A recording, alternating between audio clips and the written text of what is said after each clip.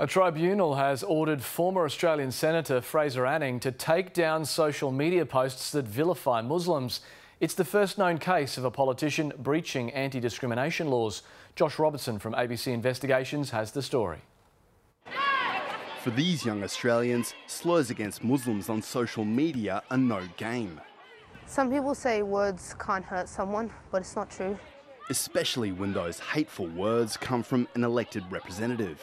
I don't think Anning represented anybody. To be honest, I would like to call him an accidental senator. That's what he was. In office, Queensland Senator Fraser Anning copped public hits for his anti Muslim comments. Now he's the first known Australian politician who's been found to have unlawfully vilified some of his own constituents. Politicians often think that they have free license to say what they want, and that can really embolden people to attack people from migrant backgrounds on the street. In a landmark win for Muslim advocates, the Queensland Civil and Administrative Tribunal has ordered Mr Anning to remove 141 online posts. They include his infamous comments blaming the Christchurch massacre on Muslim immigration. This is a moment where we can say to politicians in Australia, there is a line. Please don't cross it.